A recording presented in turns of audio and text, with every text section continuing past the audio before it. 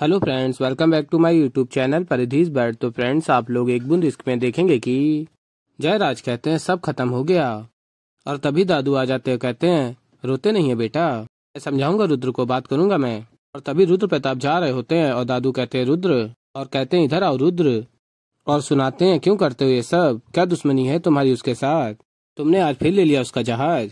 और रुद्र का कान पकड़ लेते हैं, लुटाओ उसका जहाज़, अभी फ़ौरन दे उसका जहाज़। और फिर रुद्र कहता, मैं लेकर आता हूँ। और दादू कहते हैं, रुद्र से जल्दी लाना। और फिर आगे आप लोग देखेंगे कि तुंजे की माँ कहती है, जयराज जी, खुद को इस तरह परेशान करने से क्या होगा?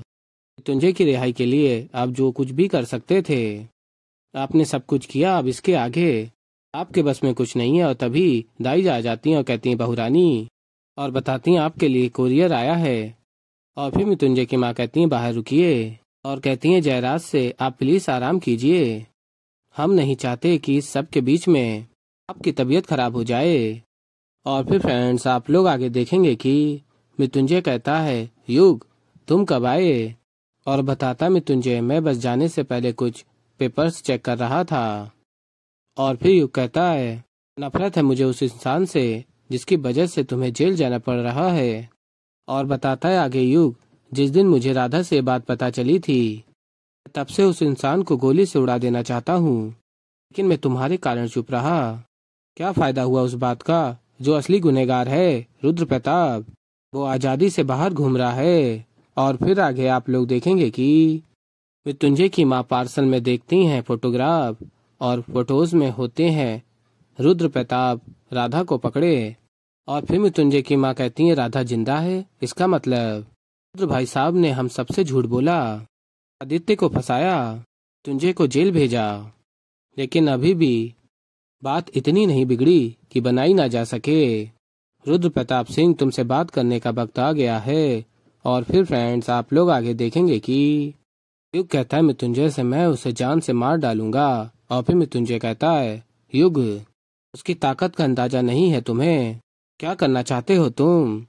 उसका खून करके मेरी तरह जेल जाना चाहते हो। क्या हासिल होगा उससे? हमें रुद्र प्रताप को केवल खत्म नहीं करना है युग। हमें उसका सच पता करके दुनिया के सामने लाना है।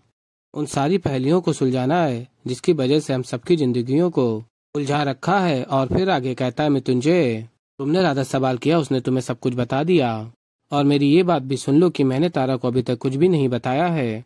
ये बात को सोच के कि सच जानने के बाद वो कुछ ऐसा कर बैठेगी।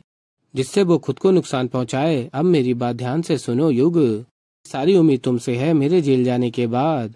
सबूत इकट्ठा करते रहना होगा, ये जंग जारी रखनी होगी तुम्हें। हमें रुद्र प्रताप की सच्चाई दुनिया के सामने लानी है। किसी भी हाल में, और फिर युग कहता है हाँ और फिर फ्रेंड्स, आप लोग आगे देखेंगे कि मृत्युंजय की माँ पहुँचती रुद्र प्रताप के पास। रुद्र प्रताप की फ़ोन पर बात सुन लेती हैं और कहती हैं, रुद्र प्रताप से और क्या क्या छुपाया है घर वालों से? और फिर फ़ोटोज़ दिखाती हैं। और तभी रुद्र प्रताप कहता क्या बकवास है ये सब? और फिर मृत्युंजय की माँ कहती है, आप बताइए। और फिर रुद्र प्रताप कहते हैं तो सच तुम्हें पता चल चुका है? और कहती मृत्युंजय की माँ हाँ हमें सब कुछ पता चल गया। आपने हमसे झूठ क्यों बोला? क्या आदित्य ने राधा का रेप और मर्डर किया है? क्यों ऐसे हालात पैदा किए? हम आपकी हर बात मानने पर मजबूर हो जाएँ। हम सब कुछ जान चुके हैं। ये भी जान चुके हैं कि जयराज जी के ऊपर हमला आपने ही कराया था। आप किसी के सगे नहीं हो सकते। लेकिन अब बस बहुत हो चुका। हम जयराज जी को और आदित्य को जाकर सब सच बता देंगे। अब हम आपके हाथ की कठपुतली बनकर नहीं रहेंगे। और फिर रुद्र प्रताप कहता, बेवकूफ़ औरत, इतनी ऊँची आवाज़ में बात कर रही है। पता नहीं दीवालों के भी कान होते हैं। मेरी सच्चाई दुनिया को बताने चली है। और अपनी सच्चाई भूल गई। भूल गई कि अपने आशिक के बच्चे की माँ बनने वाली थी। भी शादी से पहले, और वो धोखा देकर भाग गया था। मैं था जिसने जयराज से तेरी शादी करवाई। मुझे इस बड़े खानदान की बहू बनाया, नहीं तो सड़कों पर कहीं भीख मांग रही होती। एक बात ध्यान से सुन ले, मुझसे सवाल करने वाले। चिंता नहीं रहते, मैं दुनिया को किसी भी बात पर यकीन दिला सकता हूँ। तुझे तो जेल जा ही रहा है, आदित्य को भी भगवान के पास पहुँचा दूँगा। ठीक वैसे ही जैसे तेरे पहले बेटे को पहुँचाया था।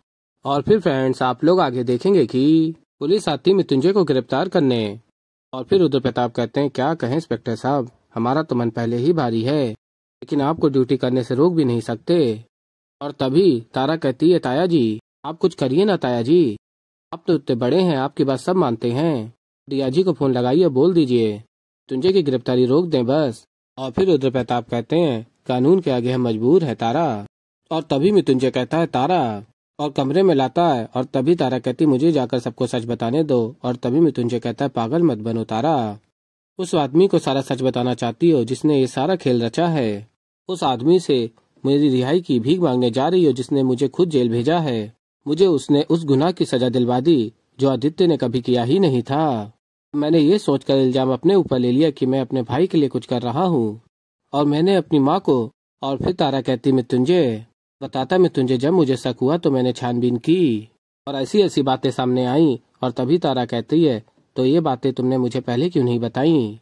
फिर मैं मृत्युंजय कहता है डर की वजह से, इस बात का डर कि जब तुम सच जान जाओगी, तुम कुछ ऐसा कर बैठोगी जिससे तुम्हारी खुद की जान को खतरा, और फिर तारा से कहता, मैं तुम्हें कोई आँच नहीं आने दे सकता। और कहता है मुझे माफ़ कर दो।